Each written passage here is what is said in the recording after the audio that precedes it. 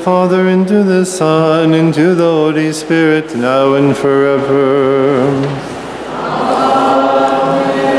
Lord Jesus, you are the living light who transform darkness into light. Through the blessings of this glorious Sunday, make us worthy to praise you with all those who saw the radiant light of your resurrection.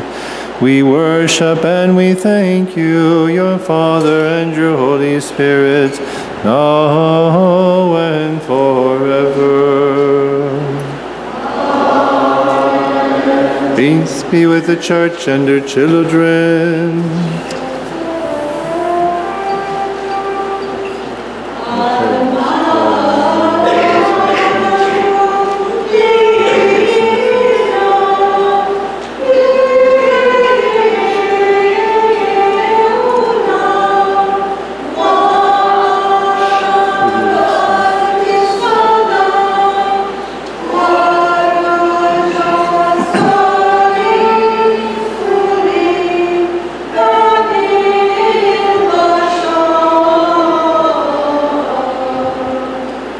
Us raise glory, honor, and praise to the living one who by his death gave life to his creation.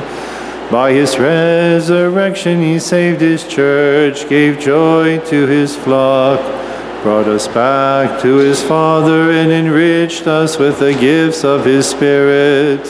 To the good one be glory and honor on this blessed Sunday and all the days of our lives and forever. Amen. Only begotten Son, you were born of the Father before all ages, and by your creative will you separated light from darkness on this, the first day of the week.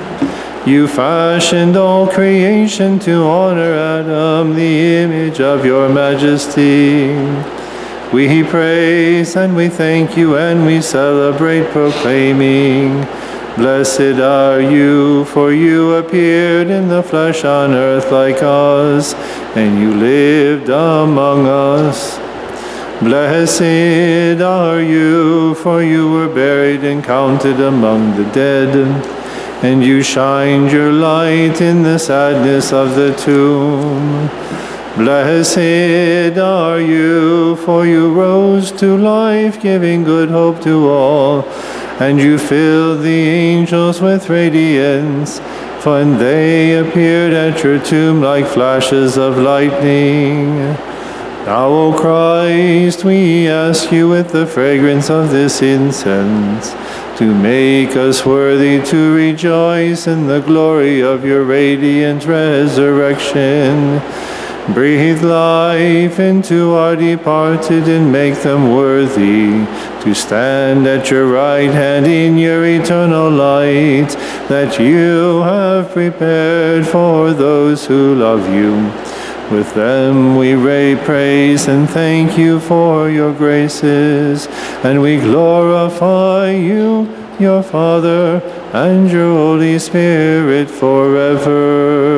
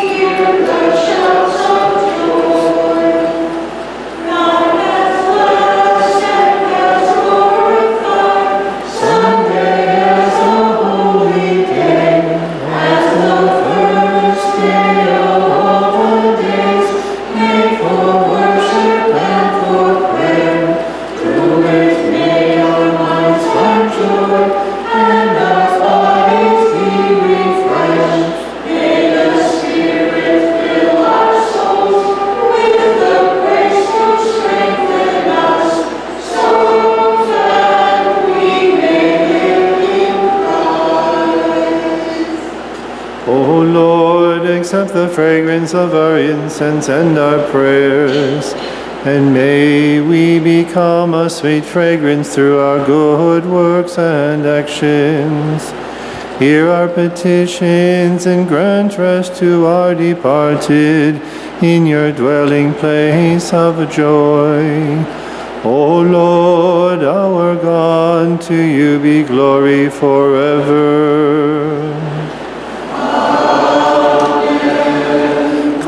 Kadishan talo kodishat hayalatono kodishat lomo yuto.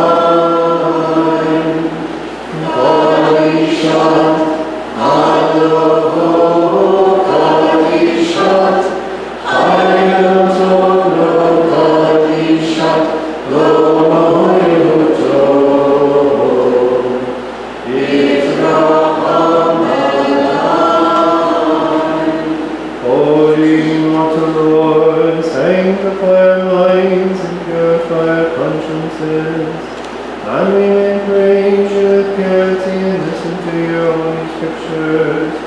To you be glory forever.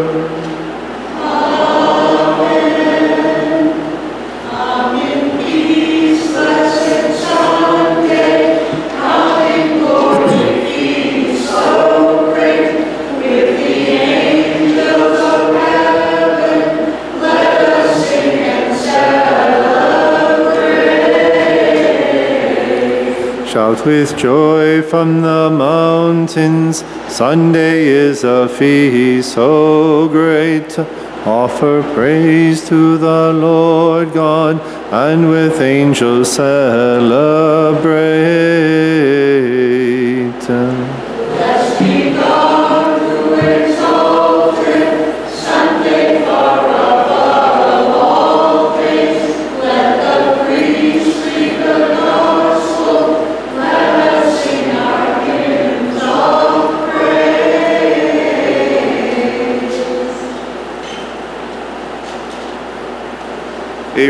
Reading from the first letter of St. Paul to the Corinthians. Glory to the Lord of Paul and the apostles. May the mercy of God descend upon the reader, the listeners, and upon this parish and her children forever. I could not speak with you as with spirituals, but as fleshly people as mere infants in Christ. I fed you milk and not solid food because you were unable to receive it. Indeed, you are still not able, even now, for you are still in the flesh. While there is jealousy and quarreling among you, are you not in the flesh and behaving in an ordinary human way. Whenever someone says, I am of Paul, or another, I belong to Apollos, are you not being merely human? What is Apollos after all? And what is Paul? Servants through whom you became believers just as the Lord assigned each one. I planted, Apollo, Apollos watered, but it is God who caused the growth. Therefore, neither the one who plants nor the one who waters is anything, but only God who causes the growth. The one who plants and the one who waters are equal, and each one shall receive wages in proportion to his labor. For we are God's fellow co excuse me. For we are God's fellow co-workers, and you are God's cultivation, God's building.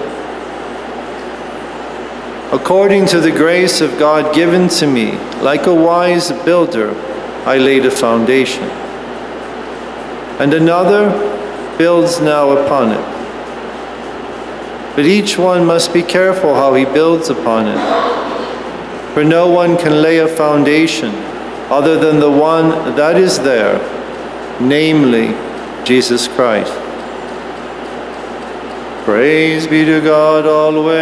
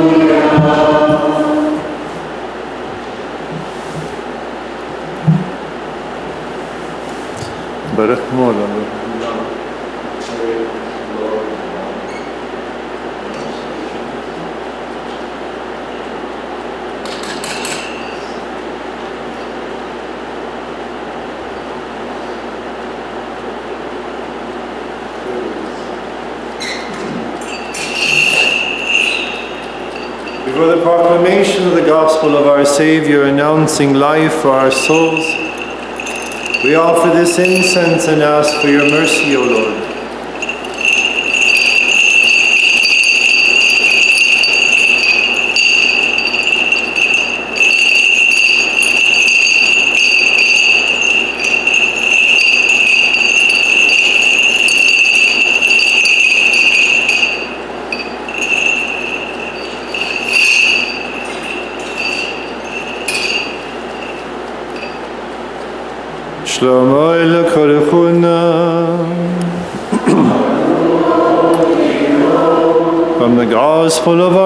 Jesus Christ according to St. Luke, who proclaimed life unto the world.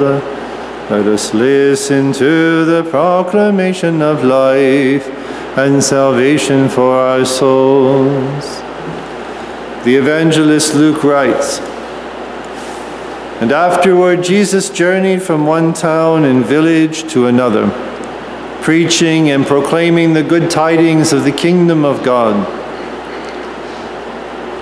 Accompanying him were the twelve, and some women who had been cured of evil spirits and infirmities.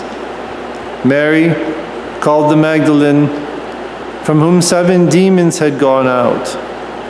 Joanna, the wife of Herod's steward Chuza. Susanna, and many others who provided for them out of their resources. When a large crowd had gathered, with many people from one town after another journeying to him, he spoke in a parable. The sower went out to sow his seed, and as he sowed, some seed fell on the path and was trampled under, and the birds of the sky ate it up. Some seed fell on rocky ground, and when it grew, it withered because it lacked moisture. Some seeds fell among the thorns, and the thorns grew up along with it, and they choked it. And some seed fell on good soil, and when it grew, it produced fruit a hundredfold. And after saying this, he cried out, Whoever has ears to hear, let him hear. Then his disciples asked him what the meaning of this parable might be. And he answered, Knowledge of the mysteries of the kingdom of God have been given to you. But to the rest, these are made known through parables, so that they may look but not see, and hear but not understand. This is the meaning of the parable. The seed is the word of God. And those on the path are the ones who have heard. But the devil comes and takes away the word from their, out of their hearts, that they may not believe and be saved. And that which fell on rocky ground are the ones who, when they hear, receive the word with joy, but they have no root. They believe only for a time and fall away in a time of trial. As for the seed that fell among the thorns, these are they who have heard, but as they go along, they are suffocated by the anxieties and riches and pleasures of this life. And these failed to produce mature fruit. But as for the seed that fell upon the rich soil, these are they who, when they have heard the word, embrace it with a generous and luminous heart, and they bear fruit through perseverance. This is the truth. Peace be with you.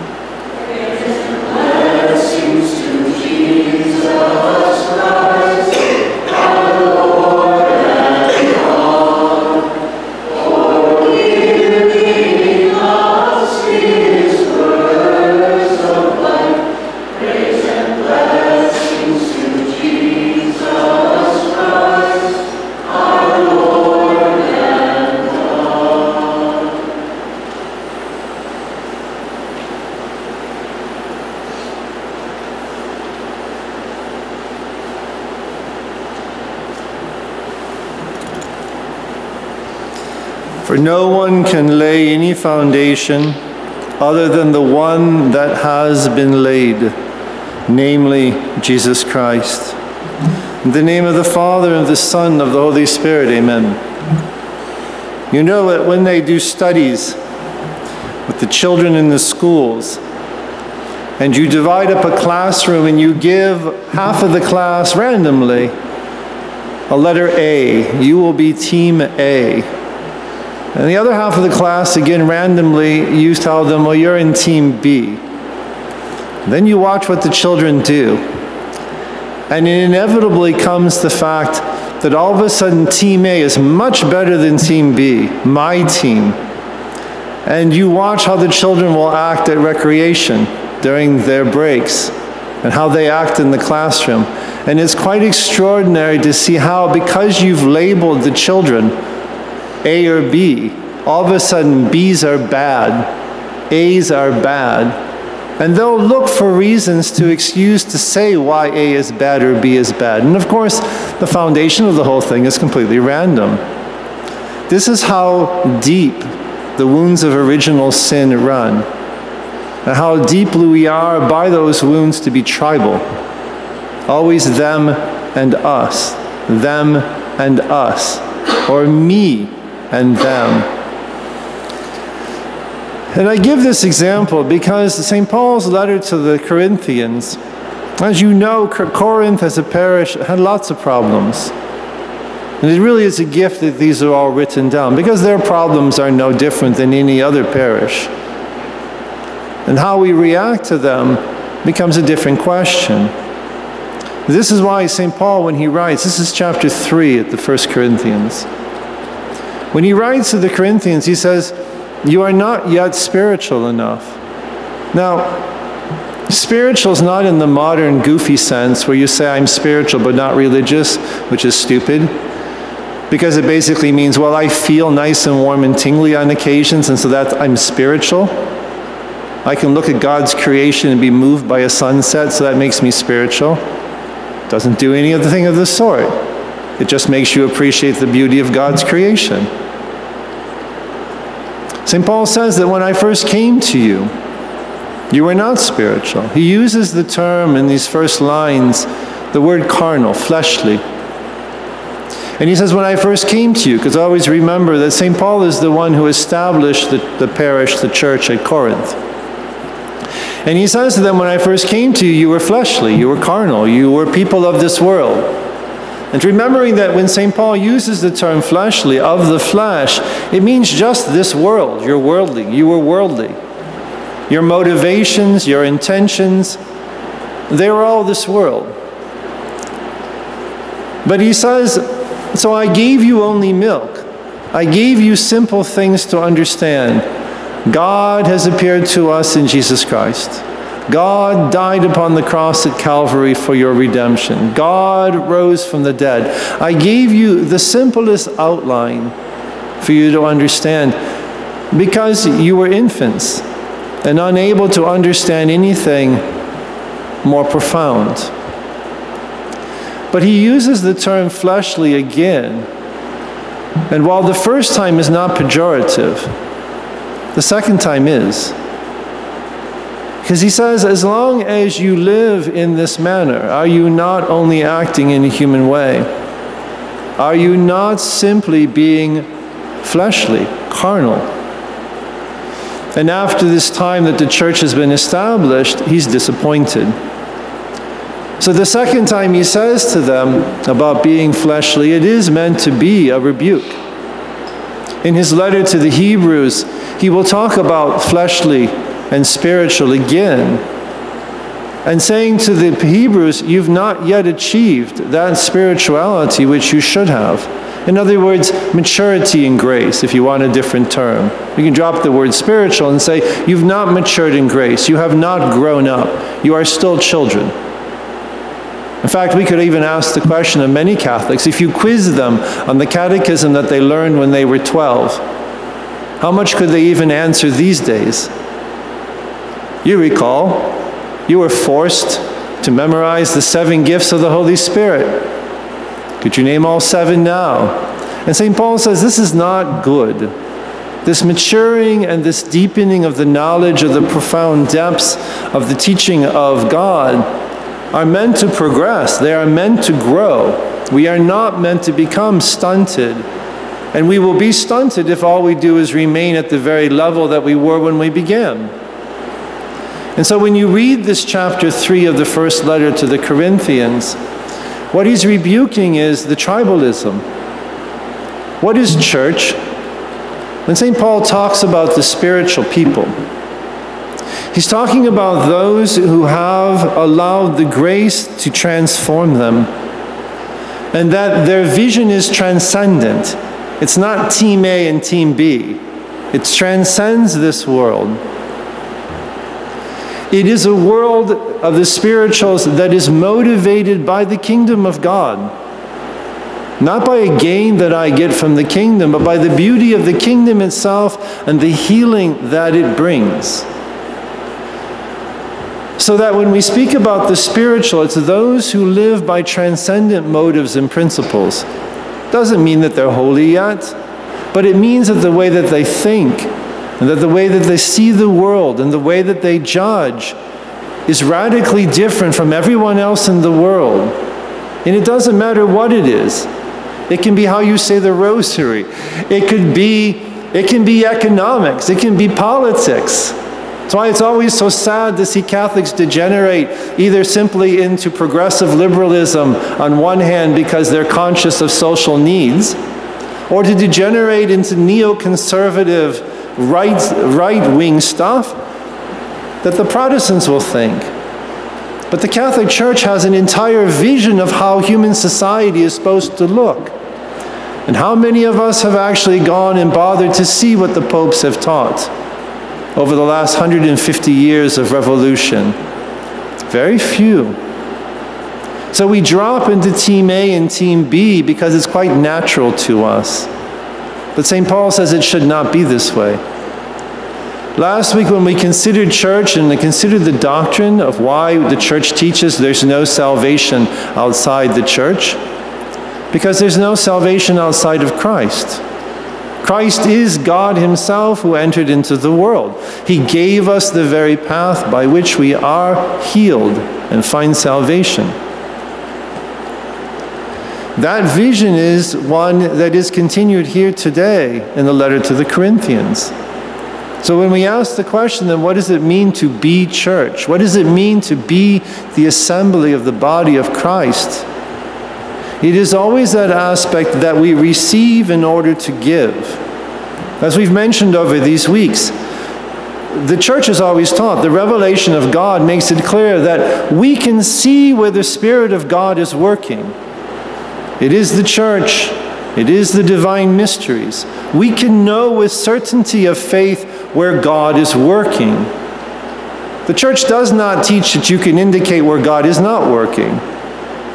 But the revelation of God in the incarnation of Christ, the foundation of all things, that reality means that we know where the Spirit of God is actually laboring and working. When we go to confession, we know that God is here, absolving us, breaking the shackles of our sins, and bringing us the freedom. Kneeling next to my bed and praying, I don't know that. God may, God may not, which is why he instituted the mystery of penance. It is the way that we know that God is truly here. On the altar is the same thing the presence of our Lord's death and his resurrection. This is my body, this is my blood. That is the foundation of the Eucharist. Communion flows from it. But the purpose for the divine mysteries of the Eucharist is that death and resurrection that we are allowed to participate in. And so the church has always taught that God has revealed himself so that there are places in time and in space that we know God is here and working. That is church. The desire to invite others into and to be open to others, to receive them. That is the very definition of the body of Christ. When an individual would, would do damage to themselves, and it is a tragedy to hear about all the children who continually wound themselves and do things in this world. Things that I don't know about you, but I never heard of any other fellow student causing physical injury to themselves. There is something dramatically wrong with this world. But the opposite of it is the healing that takes place. The ability to be introduced and to be brought in to find that healing. It is not Team A and Team B.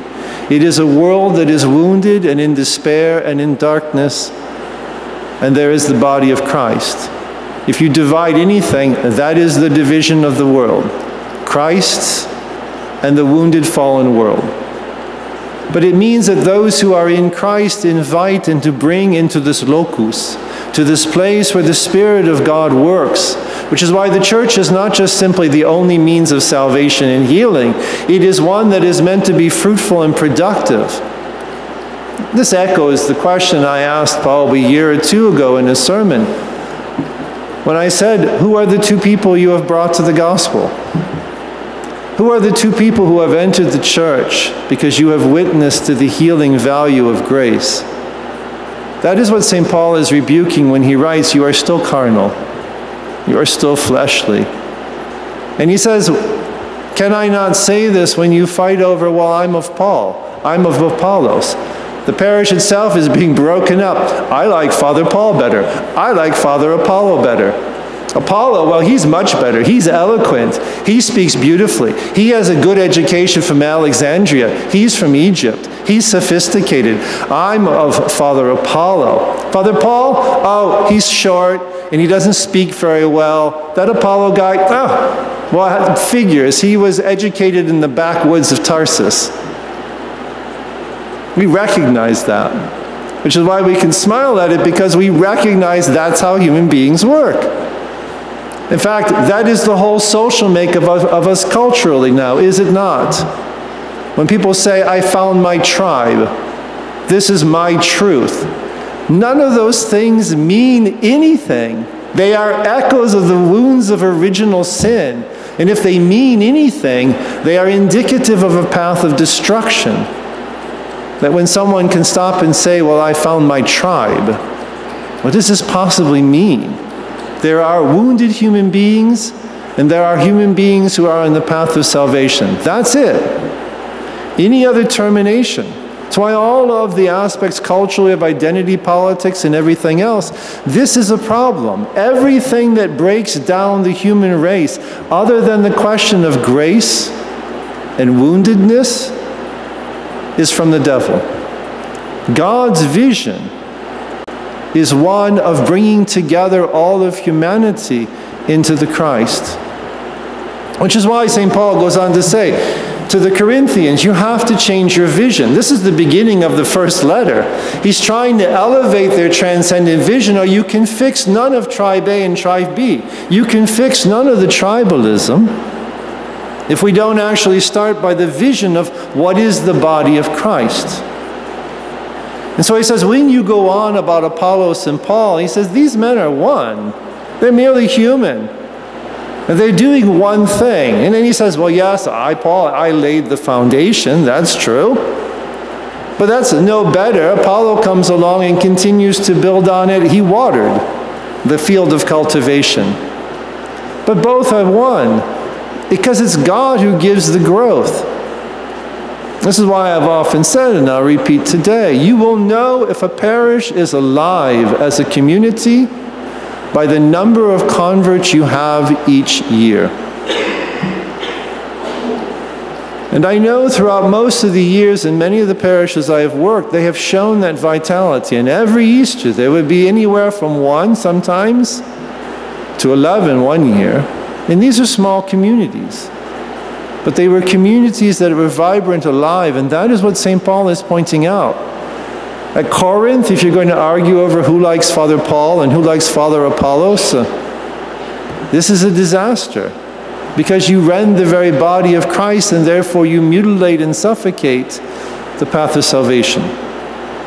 And that's why he said it's God who gives growth. You are God's field of cultivation, St. Paul says. What do I do? I plant seeds, that's it.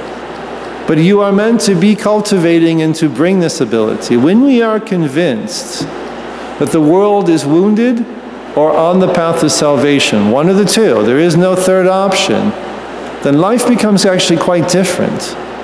Because in the people that we see in their tribalism, we have compassion upon. And we come to understand the need that there is to assemble more and more individuals, not because we're tribe A, but because there's only one Christ.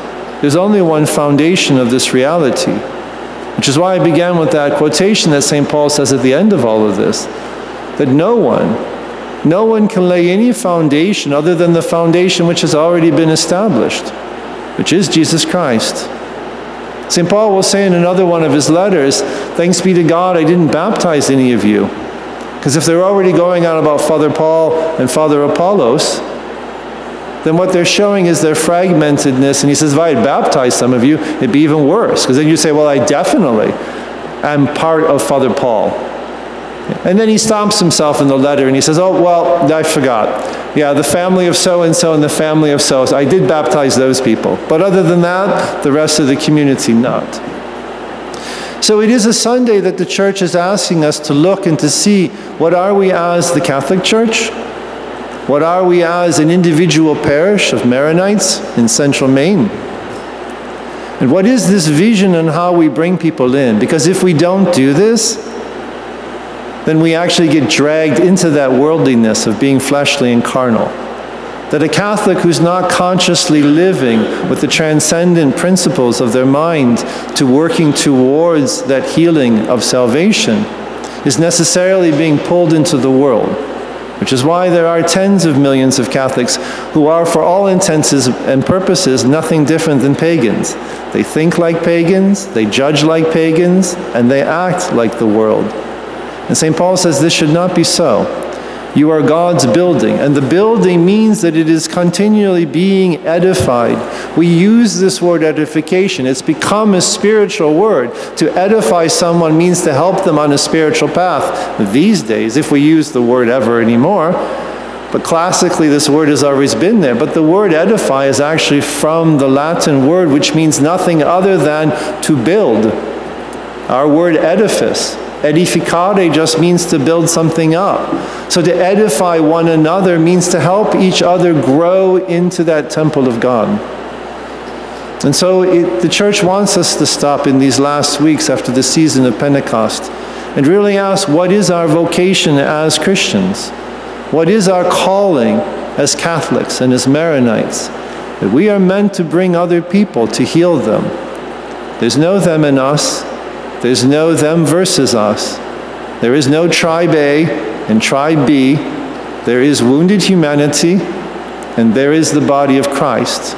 Those are the only two realities in this world. It has always been so since the time of our Lord, and it shall be this way until Judgment Day. May God give us zeal and a profound sense of that unity and a profound desire to become ever more among the spirituals as our faith and grace matures within our lives. In the name of the Father, of the Son, of the Holy Spirit, amen.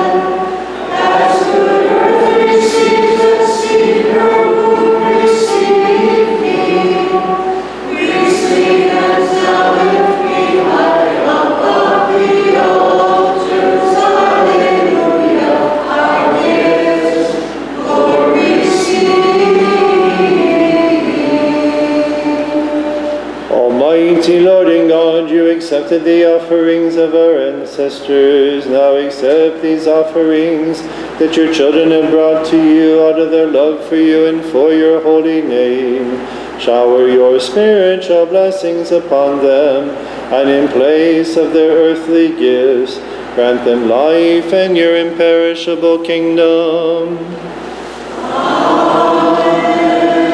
As we remember our Lord God and Savior Jesus Christ and his plan of salvation, we recall upon this offering all those who have pleased God from Adam to this day, especially Mary, the Blessed Mother of God, Saint Joseph, her spouse, the chosen one, our Holy Father, Saint Maron, Saint Jude, and Saint Augustine, and Saint Moses, the Ethiopian.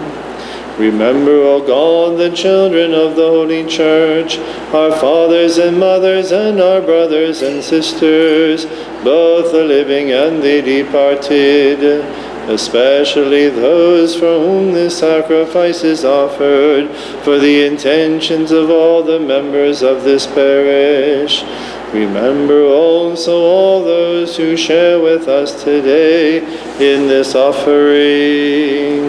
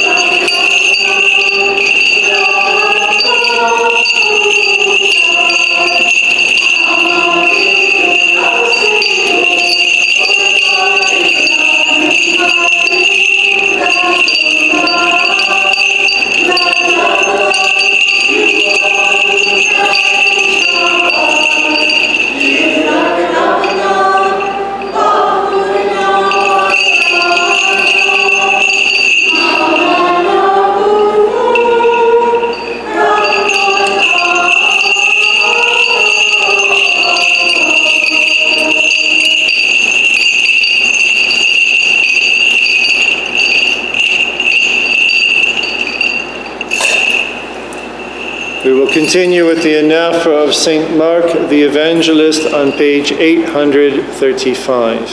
835. Glory be to the Father, and to the Son, and to the Holy Spirit, now and forever. Amen. Lord God, Almighty Father, you are true and holy love. May we be bound by your divine love and find joy in it all the days of our lives. Make us worthy to give one another the greeting of peace with a holy kiss, that through Jesus Christ our Lord we may be your radiant and blameless flock. We glorify and honor you, your only Son, and your Holy Spirit, now and forever.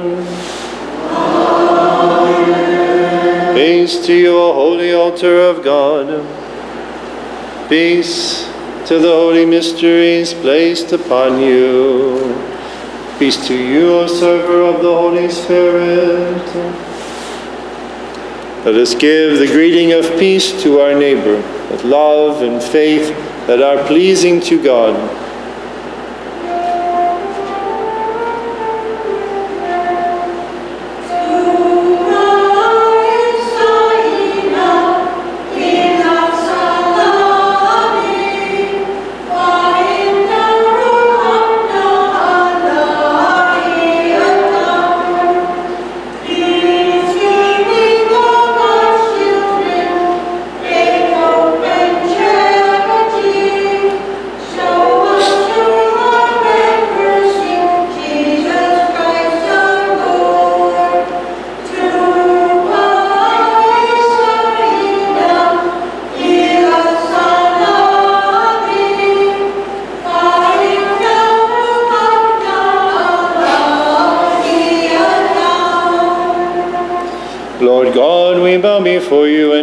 That you grant us in your mercy the riches of your grace and kindness.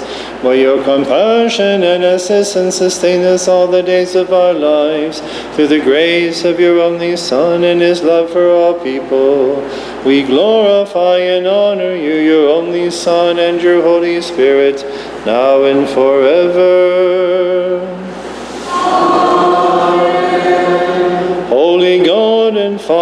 You sent your only Son to save us, for we are weak and poor. When we had gone astray, he brought us back to your spiritual fold by his royal blood. Through your grace and the favor of your only Son, we implore you to accept this bloodless sacrifice from our sinful hands, and through it to forgive our sins. We glorify and honor you, your only Son, and your Holy Spirit, now and forever. The love of God the Father and the grace of the only begotten Son and the communion and indwelling of the Holy Spirit be with you, my brothers and sisters, forever. Us lift up our thoughts, our minds, and our hearts. Let us give thanks to the Lord with reverence and worship Him with humility. Glory, thanks, praise, and honor are yours, O God, the Father, maker of all creation, with your only begotten Son and your living Holy Spirit. The angels, archangels, and all the heavenly host bless and praise you. They cry out and they proclaim.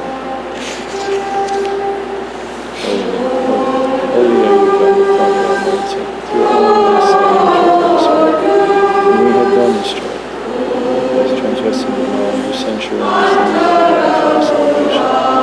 By his saving passion, he restored us to our original inheritance and gave us life. By whose divine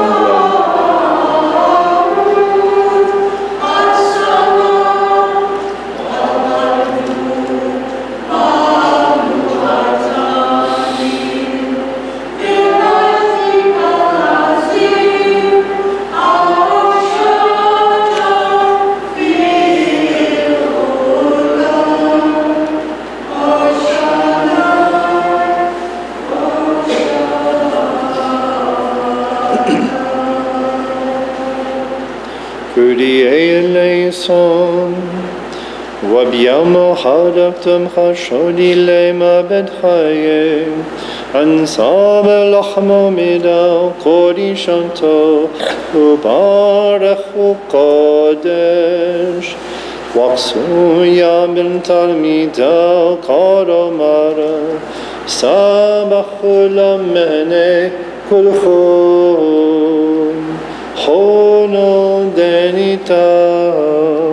فخرو ديل دخل فيكون واخلف ساقيم متقسيو متيهل خصويا حومي وخايدا قلم علمين آمين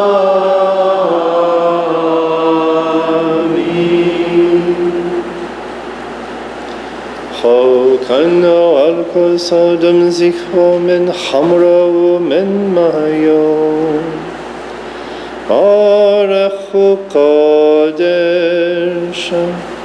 ويا بنت الميدا قارو مارا سابشتا ومهنه كل خون خونون دنيتا دمو دیل دیاتی کی خدا تو. دخل و وخل ساگیم. متی شد متی هم. حسونیم خامه و خای دل قلم علنی آه.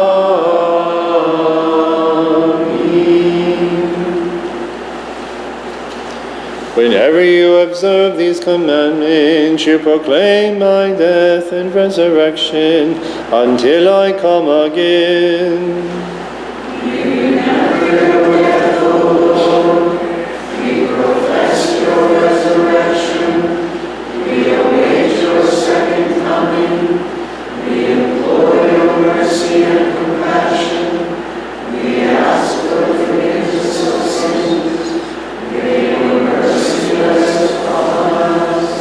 Jesus Christ, we remember your plan of salvation for us, your conception, birth, and baptism, your saving passion and life-giving death, your burial, your glorious resurrection and ascension into heaven, your sitting at the right hand of God the Father, and your royal second coming when you will judge all people and reward them according to their deeds.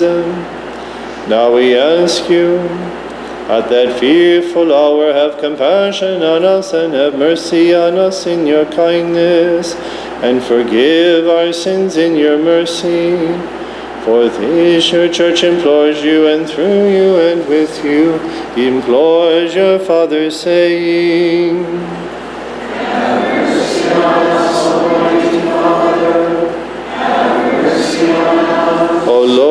As we, your sinful children, receive your graces, we thank you for them and because of them.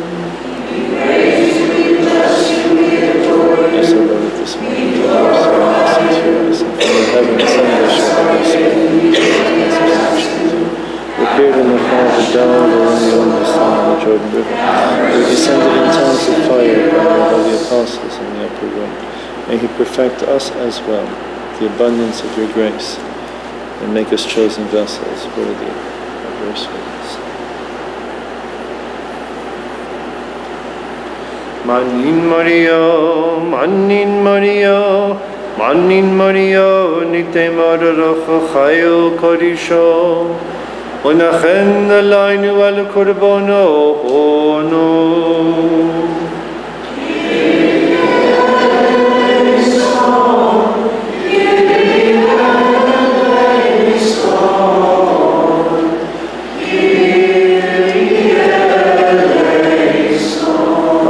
Anadam Machnanitain Abed Lachmono Fachurodam Shicho Alodilon.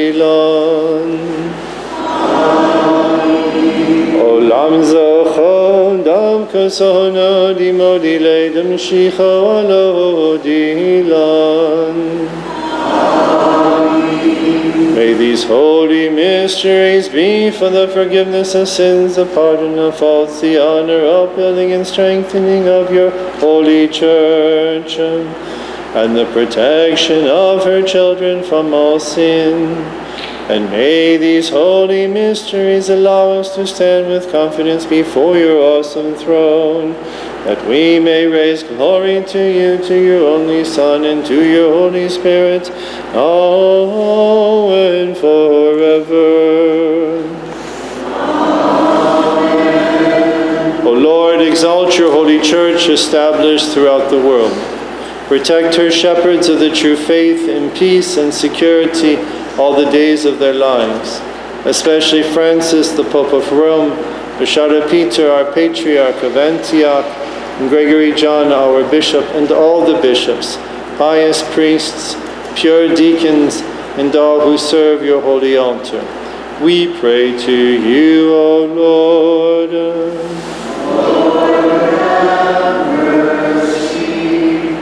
Remember, O Lord, all those who call upon your holy name. Bless those who are near and bring back those who are far. Visit the sick and strengthen the weak.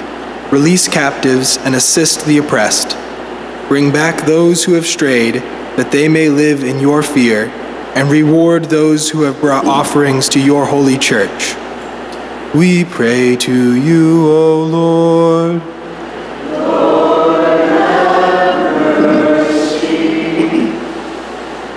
Remember, O Lord, all those who call upon your holy name. Bless those who are near and bring back those who are far. Visit the sick and strengthen the weak. Release captives and assist the oppressed. Excuse me. Remember, O Lord, our civil leaders and all the children of your holy church. Grant them security and peace, and keep domestic and foreign conflicts far from them, so that they may live in tranquility. Protect them by the sign of your living and victorious cross. Rescue the persecuted and the displaced of your flock, and be a refuge for strangers and a companion to travelers. Grant your eternal reward to monks, to those who live solitary lives, and to hermits who live on mountaintops and in caves of the earth. We pray to you, O Lord. Mercy.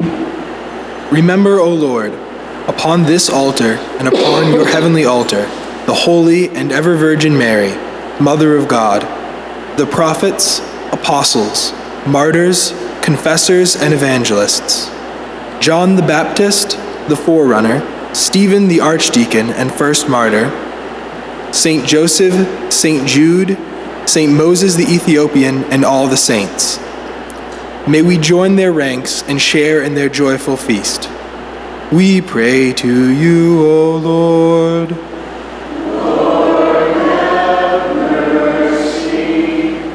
Remember, O Lord, the faithful teachers who have gone to their rest in the true faith, especially Peter and Paul, Mark, Clement, Ignatius, Dionysius, Julius, and all those who endured suffering and persecution for the strengthening of your holy church.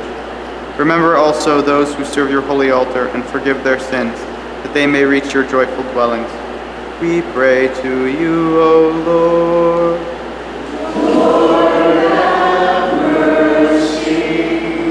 Remember, O Lord, all those who have left this world and have gone to you. Lead them to your joyful dwellings and blot out all their sins. Through our Lord God and Savior Jesus Christ, who is with us in, we hope to find mercy and forgiveness for our sins and for theirs. Grant us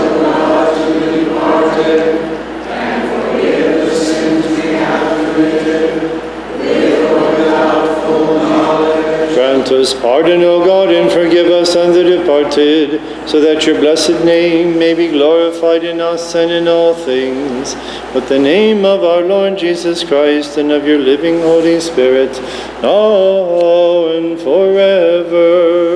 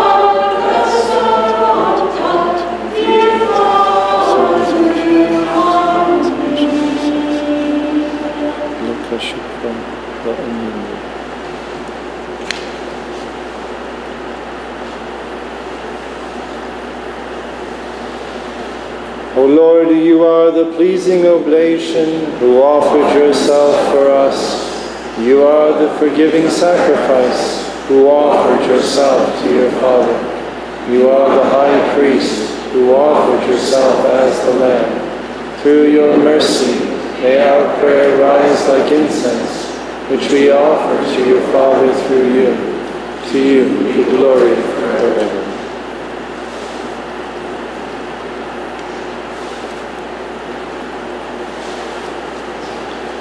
O God the Father, you are merciful and you are compassionate.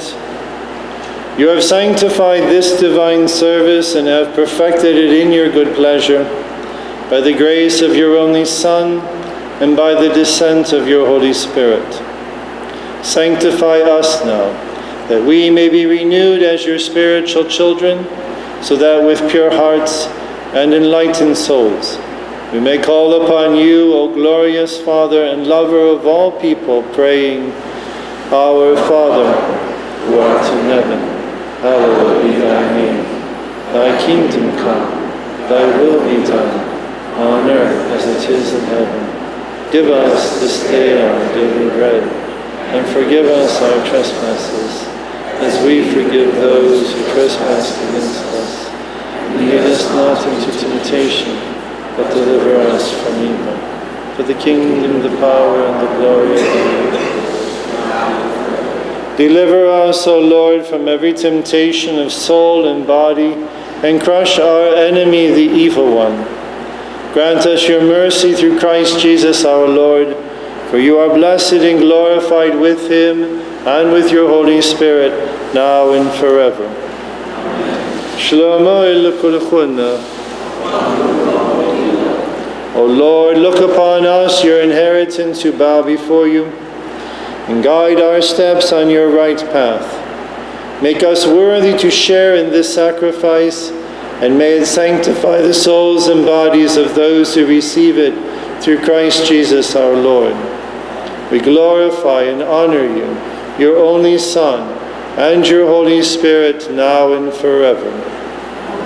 The grace of the most holy Trinity, eternal and consubstantial, be with you, my brothers and sisters, forever. Holy gifts for the holy with perfection, purity, and sanctity. One Holy Father, one Holy Son, one Holy Spirit. Blessed be the name of the Lord, for he is one in heaven and on earth. To him glory forever. Make us worthy, O Lord God, so that our bodies may be sanctified by your holy body, and our souls purified by your forgiving blood. May our communion be for the forgiveness of our sins and for new life. O Lord our God, to you be glory forever.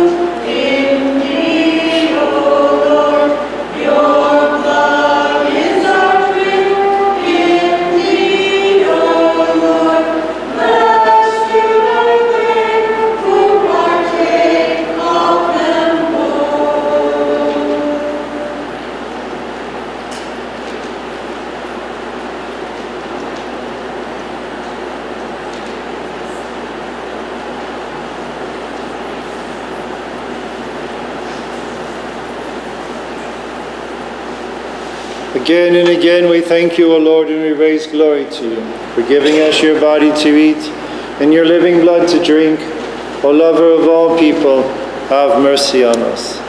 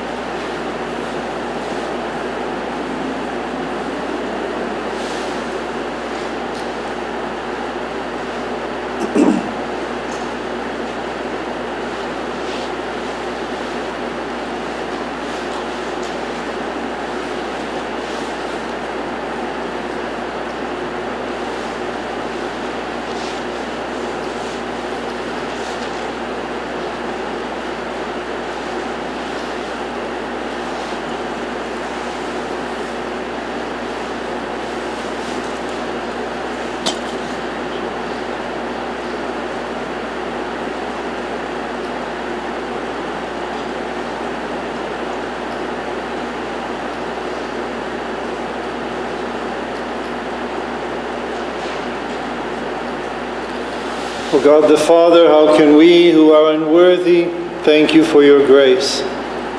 For you have given us this divine gift and have made us worthy of the share, to share in the body and blood of your only begotten Son who saved us. Through him and with him, glory and honor are due to you and to your Holy Spirit, now and forever. Shlomo el Jesus Christ, our Lord and God, you are worshipped and you are holy.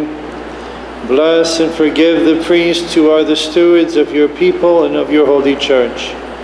Forgive the servers of your divine mysteries and all the faithful departed, who have all the faithful who have shared in this sacrifice. Care for orphans, help widows, assist the poor and the distressed, and satisfy the hungry and protect all who call upon your holy name in every place.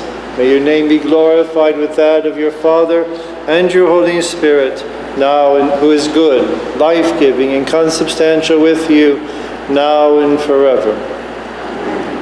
Go in peace, my beloved brothers and sisters, with the nourishment and blessings you have received from the forgiving altar of the Lord. May the blessing of the Most Holy Trinity accompany you, the Father and the Son and the Holy Spirit, the one God, to whom be glory forever.